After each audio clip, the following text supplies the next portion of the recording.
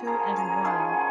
But speak thou the things which become it sound doctrine, that the aged women likewise, that they be in behavior, as become it holiness, not false accusers, not given too much wine, teachers of good things, that they may teach the women to be sober, to love their husbands, to love their children, to be discreet, chaste, keepers at home, good, obedient to their own husbands, that the word of God be not blasphemed, chaste conversation.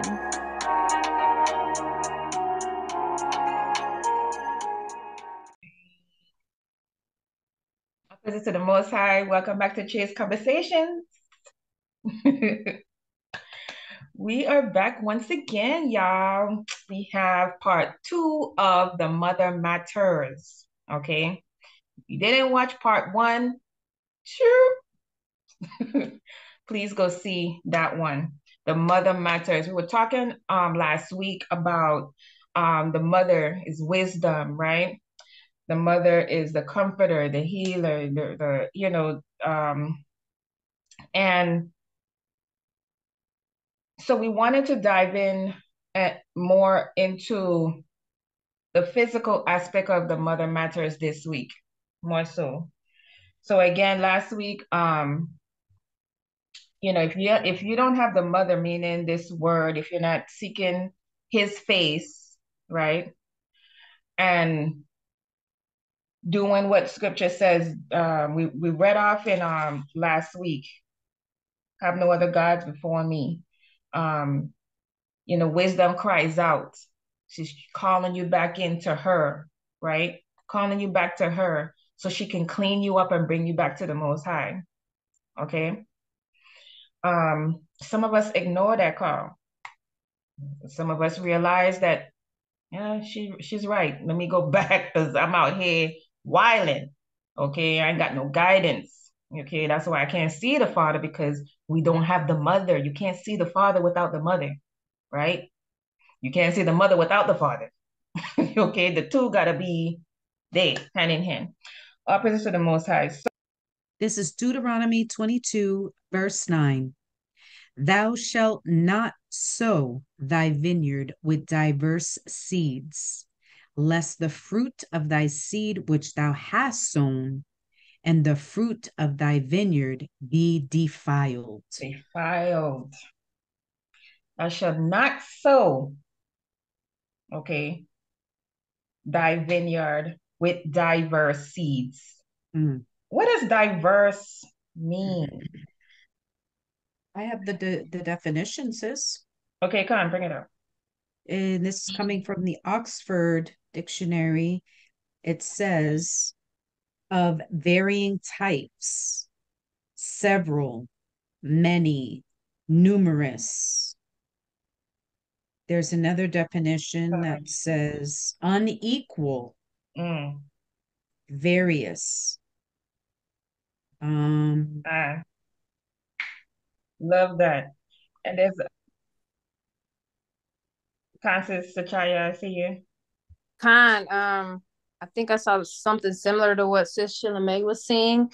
Um, and I like looking at the origin of words because it just starts to interest me a lot. But so the origin of diverse, because we spell it with the E at the end, um, it originated with it with it without the E. So it's coming from like French and Latin, meaning to separate ways. Um, another word is like divert. So something that's just different or separate. Okay. Fine. So there we go. We have the meaning of diverse. So thou shalt not sow thy vineyard with different kinds of seed, two seeds that don't match, two seeds that don't belong together. Okay. All right. Um, because you see how today they'll what they're doing today? They're splicing seeds. They're splicing seeds, y'all and making fruits bear when they ain't supposed to bear, or making two fruits, put them together and, you know, calling it something else. This is Leviticus. chapter 19, verse 19. Ye shall keep my statutes. Thou shalt not let thy cattle gender with a diverse kind. Thou shalt not sow thy field with mingling seed, mingled seeds, Lakia. Neither shall a garment mingle of linen and woolen come upon thee. Okay, so we're back to the basics, yeah.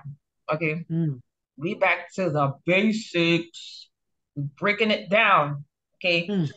because the Most High said, "Don't splice, don't dice, don't mix it. It's pure. The way I had it is good. It's strong. It's gonna populate and just yes." And and, and we just read Leviticus nineteen nineteen. Thou shalt not let thy cattle gender with diverse kind. Right? Okay. So, and cattle meaning your animals. Okay. Mm. We ain't gonna get into people like to call if I'm using the right word, semantics, and say, oh, it just says cattle. That means I could mix my horses or my dogs. You know, I could mix a poodle with a, a pit bull. What what kind of what kind of offspring you gonna get from that? You know? So you have this one, you have this one, um, you call that horse? They call it purebred or any animal. It's a purebred. Can you really call it a purebred if you breed it with a different kind? Can you? I might be wrong. You can't. It's not, it's no longer pure. You done mess up the whole lineage. you don't mess it up, you know? So do not mix. And this is his, this is his orders, this is his laws. Okay. So if he don't want, and then it goes into say, don't mix your seed, don't mix your animals together. Okay. Don't mix the, the, the what is it? The tiger and the lion together and call it a liger, Uh-huh. Mm, you know. Um, it said don't even mix your your the lip the lip the, the the garments on your body. A mhm, lot of us that's hard because it's hard to find these days, but it is in here, you know. We we, we do Uh-huh. have yeah, it is in here that you know we do our best make sure that we have this the the one kind of linen uh fabric on our bodies, you know. And another reason for that too, not to get off topic, is because once you start getting into them um fabric like spandex, you know, Uh-huh. spandex is you you, you don't just have the something mix have mixing with spandex that mean it form fit into your body, you know, Mm. all these other things. But um if the Most High don't even want you to mix your apple seeds with pear seeds, or he don't Mm. want you to mix, okay, your your cattle, your animals with other diverse kinds and have a, a unclean offspring, what you think he's saying about you? Mm. What you think he's saying, but you think he's gonna say, don't mix your seeds, don't mix your animals, don't even mix your clothes. But you can Mm. go on ahead and mix with these other nations. You you huh? mm. right? Right? So Yeah. That's what we're diving into, y'all. That's what we dive into. So Yeah. anybody had Mm. anything else Well, I was just gonna I was just gonna say that's where a lot of us are, at least in America, sometimes we we forget that because so many people have um interracial families or yeah, interracial families, a lot of the times they think that the hue change is because of that mingled seed, not necessarily from one or the other. So we're not going to get into necessarily what the what scripture says about how you're supposed to identify your lineage or your herit- inheritance as far as like mother or father but some people i know will say like in family reunions such and such is light skinned because they got white people in their family you know so-called white people so it's one of those things where no you're that may be true but your hue your complexion is not because it was mixed with a recessive gene or another nation who might have had lighter lighter skin than you it's not always because of that and it's not the only reason that is you could literally be in a family that has different hues. Now, if you if you've seen people with just one hue, that's just what they have. They just have dominant slash recessive dominant genes like that just keeps it going. But there's a lot of us who have different hues in our families, and it's not always because of that. But it's kind of hard to justify that when you're in America. Mm-hmm. I guess majority of us are thinking we're the only ones here who was pretty much raped and pillaged. So the other races kind of maybe found a way to not get diverse like us. So Shayla, may I see you? You got it. I wanted to do a precept to Leviticus 19:19, where it says, Ye shall keep my statutes. That's the first statement. And I'm going to First John chapter 3, verse 22. And whatsoever we ask, we receive of him, because we keep his commandments and do those things that are pleasing in his sight.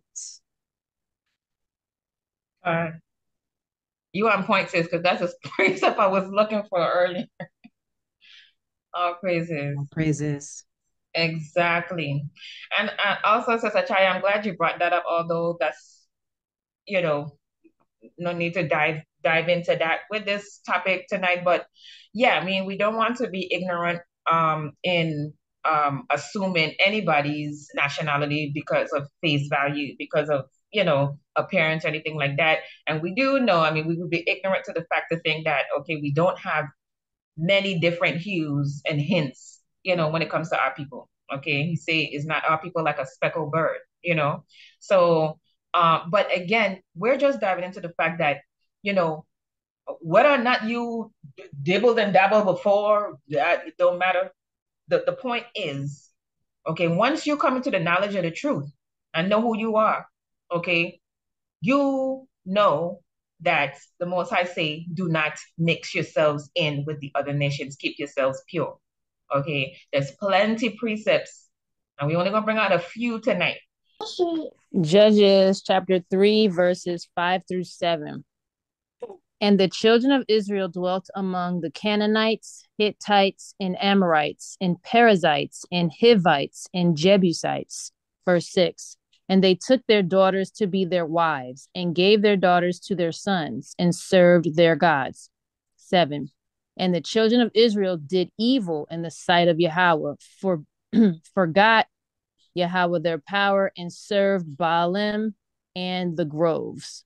Mm but yeah, so so basically we were we're among we're among another nation, and then they took daughters to be their wives. Okay, so when you took mm-hmm. some take somebody to be your wife, right? You have offspring now, okay, and then out of your seed, your your lineage, okay. That's diverse, all right. So any offspring from that, right? Okay, is not confused. There's not confusion.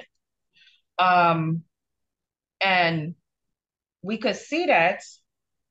And, the, and then and then the Most High said the children of Israel did evil in the sight of the Most High because they did this. Okay. So now the, the, the mother the mother is now of a of a diverse kind. That seed is of a diverse kind now. This is Nehemiah chapter 13, verse 23 to 26. Verse 23 In those days also saw I Jews that had married wives of Ashdod, of Ammon, and of Moab. 24 And their children spake half in the speech of Ashdod and Hashdod, uh, Salakia, and could not speak in the Jews' language, but according to the language of each people. And I contended with them, and cursed them, and smote certain of them, and plucked off their hair, and made them swear by God, saying, Ye shall not give your daughters unto their sons, nor take their daughters unto your sons, or for yourselves. 26. Mm-hmm. Did not Solomon, king of Israel, sin by these things?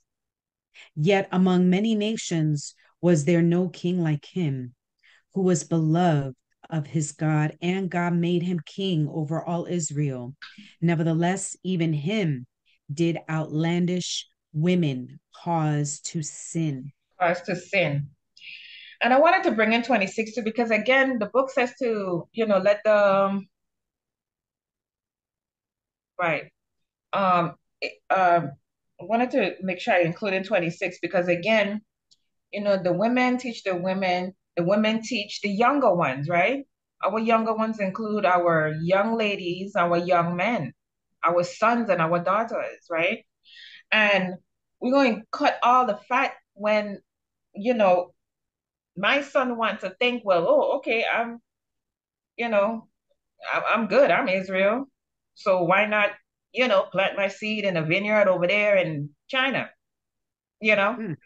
No, sir. Okay. Um, that's your seed. okay? Because it, it, it's spiritual and physical. You know what I'm saying? Because they're going, they're gonna have you going other gods. You have two different things going on. Okay. Um, he said he saw these Jews that married wives of Ashdod and Ammon and Moab. And now you got the children them speaking this language and that that language, and they they ain't now you're causing confusion. They ain't good enough for this side, they ain't dark enough for that side, or whatever it is. And we ain't going down that rabbit hole. But this is where he says just keep it real, keep it a hundred, keep it mm. pure, mm-hmm. keep it in your lineage, keep it one seed, don't mix, you know. And we go back to the diverse seed. We see the crap they feeding us out here when they mix this and mix that. And is it real? And does it have seed or not? Is it supposed to? Because they're mixing and doing all these mingle things. Mm-hmm. Okay. He said, don't do that. All right. He contended with them and cursed them and smote certain of them plucked off their hair and made them swear by God, saying, You shall not give your daughters unto their sons, nor take their daughters unto your sons for yourselves. The mother matters. The mother of my grandchildren, them matter. Sorry, but not sorry. You got to come up in here and bring me a pure grandbaby. Okay? That's just what the Most High say. Deuteronomy 7, verse 1. When the Lord thy God shall bring thee into the land whither thou goest to possess it, and hath cast out many nations before thee, the Hittites and the Girgashites and the Amorites and the Canaanites and the Perizzites and the Hivites and the Jebusites, seven nations greater and mightier than thou. And when the Lord thy God shall deliver them before thee, thou shalt smite them and utterly destroy them Thou shalt make no covenant with them, nor show mercy unto them. Neither shalt thou make marriages with them. Thy daughters thou shalt not give unto his son, nor his daughter shalt thou take unto thy son, for they will turn away thy son from following me, that they may serve other gods. So will the anger of the Lord be kindled against you and destroy thee suddenly. But this is five. But thus shall ye deal with them, ye shall destroy their altars and break down their images and cut down their groves and burn their graven images with fire. But basically, that's what it's saying. You know, he's he already said that we are not to um, uh, commingle or to uh, come together and and yeah, join together with other nations. Right. That you were right in that word, mingle. That's what diverse mean, mingle. Mm-hmm. uh, don't mingle, don't mingle that seed. Uh, spiritually and physical, physically. Mm-hmm. Mm-hmm. Okay. Um, mm-hmm. because again, we're gonna have an precept with that. Um, Exodus 34, verse 15. Okay. Uh, let's see. Yeah, 14, uh, 15 and 16, it says, Lest thou make a covenant with the inhabitants of the land. Okay, yeah, let's kumbaya. We want to see hand in hand together, you know. Um, and and they go whoring after other gods. There we go straight away from our mother now, right? Mm. Straight away from the most high, right? And do sacrifice to their gods and one call thee, and thou eat of his sacrifice, and thou take of their daughters unto thy sons, and their and their daughters go whoring after their gods, and make thy sons go whoring after other gods. Mm. Okay. Mm-hmm. Khan. All praises is okay. The Most High do not play around. It is an abomination.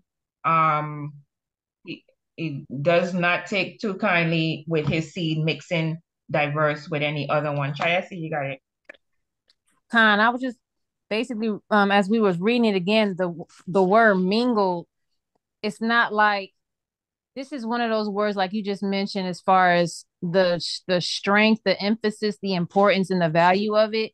It's not mingled should as far as these precepts that we're bringing out right now, mingled is something that you put right next to abomination something that you put next to profane, something you put next to unclean, something you put ne- it's basically forbidden. Like you're not supposed to. So it's a word when you hear you shall not mix, you know, mix seed when you're in your field, garments, as well as your cattle. It is a, a forbidden thing. Now, the word mingled itself, depending on what it is, it may not always be something that high level of a sin or breaking of the law but it's something we should probably remember and and almost kind of adjust our thought process because nowadays we hear mingled we use it for we we use mingled as like sprinkled i'm about to just mingle some seasoning on the on the food and, and sometimes we we there's dang someone help me because there's a scripture i'm thinking of right now we basically it's basically saying something like we take we take light of the word when we shouldn't Yeah. take light of Yeah. Yeah, we we I'm I'm out here mingling with my friends. Nine times out of ten, you mingling with the wrong friend. That's what you're Mm. mingling. right? Because in the truth now, we don't say mingling, we out here gathering. You see what I'm saying? Mm. Switched it up. We mingling. we go Ezra chapter 9 verse 1 Now when these things were done the princes came to me saying the people of Israel and the priests and the Levites have not separated themselves from the people of the lands doing according to their abominations even of the Canaanites the Hittites the Perizzites, the Jebusites, the Ammonites, the Moabites, the Egyptians, and the Amorites. For they have taken of their daughters for themselves and for their sons, so that the holy seed Mm. mingled. Oh, Say, say that ooh, again. The holy what? oh, oh, oh. Verse 2 For they have taken of their daughters for themselves and for their sons, so that the holy The seed, holy what? seed, What did he call us? What kind of seed? holy, holy Holy. Kodash. Holy, have mingled themselves with the people of those lands. Mm. Yeah, the hand of the princes and rulers have been chief in this trespass. Oh, Ooh, praises to the Most Chief. Chief. You want me to read that again, sis? Uno Oh. oh. más, por favor. Yeah. My colonizer's language, right? For they have taken of their daughters for themselves and for their sons, so that the holy seed have mingled themselves with the people of those lands. Yeah, the hand of the princes and rulers have been chief in this trespass. Mm, Mm. See that? So we went from being holy. What's the opposite of being holy? okay. You go and mix yourself in and mingle yourself in with diverse kinds, diverse nations. You're the opposite of holy, Ooh. which Mm. is an abomination. We figured Uh-huh. that out at the beginning of this, right? Khan. Mm. You know, Mhm. Mhm. and and um, you know, it's it's not a light thing. It's not a light thing. uh, people mm. ask the question, I'm gonna bring it out. I, I don't know. Just bring it. People gonna ask the question. The Most High gonna uh, send me to a dark place because I like uh, other nations. You blasted Skippy. This is this is his word. This mm. is his word. Mm. Anybody disagree? La. Mm, la. This is word. He said, don't even mix the, a, a green apple with a red apple. He mm. said, don't mix a, like don't mix a, a donkey and a and a horse. Mm. Uh-uh. You know, don't mix, you know, cotton and polyester. Don't mix linen and wool. What make you think it's okay for you to go and cross the fence? Let me let me add another precept just really quick because the last two we just did, we keep mentioning these particular nations, and so it goes back to two two or three stories in in Genesis, but one I'm going to bring out is Genesis chapter 34. And I'm going to skip around through it a little bit. So I'll start at one so we'll know what we're talking about. And then I'll skip around and let you know where I'm at. So Genesis chapter 34, verse 1.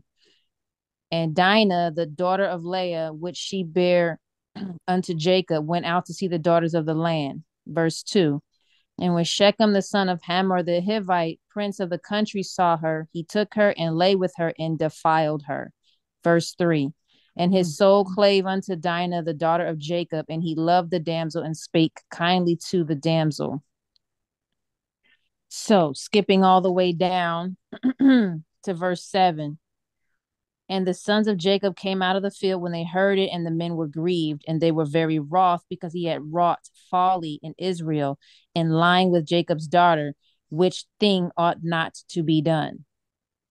Mm. So I'll stop at verse seven because this whole chapter mm. goes on to say what happens. But prior to that in Genesis, it does, or excuse me, I believe in Deuteronomy, it talks about how you should if you lie with a woman, she shall be your wife, or you know, it goes into kind of a couple of different rules when you just lay with a damsel if she's betrothed or not mm-hmm. betrothed. Mm-hmm. And those are laws for us. But in this particular case, Shechem is the son of Hamor, and Hamor is a Hivite. So you got a Hivite, they're they're traveling in this land, this land of Canaan, and they're coming across these nations. And this is one of the reasons why Abraham dealt with his wife um, Sarah, Isaac dealt with Rebecca a little bit in similar fashions, but those situations never made it to this point.